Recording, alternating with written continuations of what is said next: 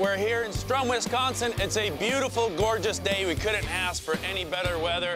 We got a bunch of volunteers who showed up early. Thanks, guys, for coming in. How y'all doing? We ready? We ready? So now all we're waiting on is JDog to show up, because as always, they're gonna help us with the moving and the dumpsters and the demo and everything. So as soon as they show up, we'll get this show on the road and get busy. As a matter of fact, there they are right there. All right. How's it going? We made it. Thank you so much. Absolutely looking forward to it. Yeah, it's moving day and get some demo done. Let's go inside and have a look.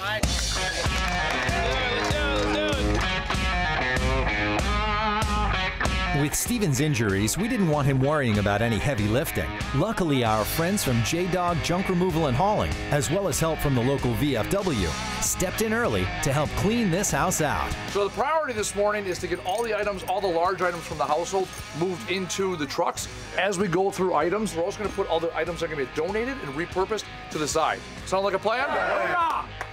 Military makeover on three. Ready? One, two, three.